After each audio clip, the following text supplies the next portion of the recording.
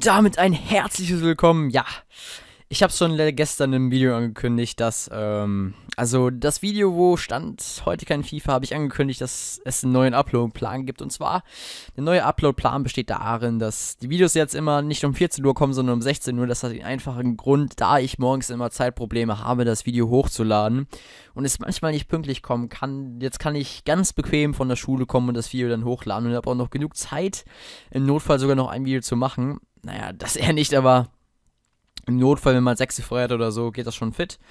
Ja, wie man auch sieht, dienstags kein FIFA mehr, nur noch samstags. Das hat den einfachen Grund, da FIFA mir wirklich im Moment keinen Spaß mehr macht. Ich finde, EA hat sich das Spiel selber verbockt, da diese Price Ranges schon ein, ja,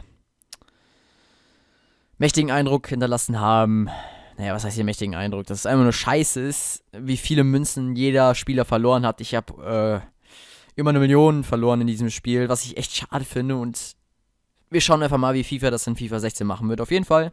Montag 16 Uhr Clash of Clans, Dienstag 16 Uhr Five Nights at Freddy's, Mittwoch 16 Uhr Clash of Clans, Donnerstag 16 Uhr Five Nights at Freddy's, Freitag 16 Uhr Clash of Clans, Samstags FIFA 15 um 16 Uhr und danach um 17 Uhr neues Format und zwar angegruselt. Ich hoffe, euch hat das Format gefallen, wenn ihr es euch angeguckt habt. Wenn nicht, dann schaut doch mal vorbei. Ist witzig, finde ich zumindest. Und ja, Sonntag 16 Uhr Clash of Clans und 17 Uhr Mario Kart 8. Das ist jetzt der neue Upload-Plan. Also, falls ihr irgendwelche Verbesserungen habt oder Wünsche oder Spiele, die wir spielen können, schreibt es unten in die Kommentare rein. Ähm, ein Vorschlag war ja Surgeon Simulator. Könnt ihr euch mal auf YouTube angucken.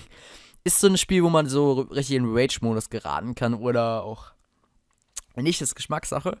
Und GTA 5 on, also GTA 5 Online, wenn das Interesse da ist, dann schreibt es noch in die Kommentare rein.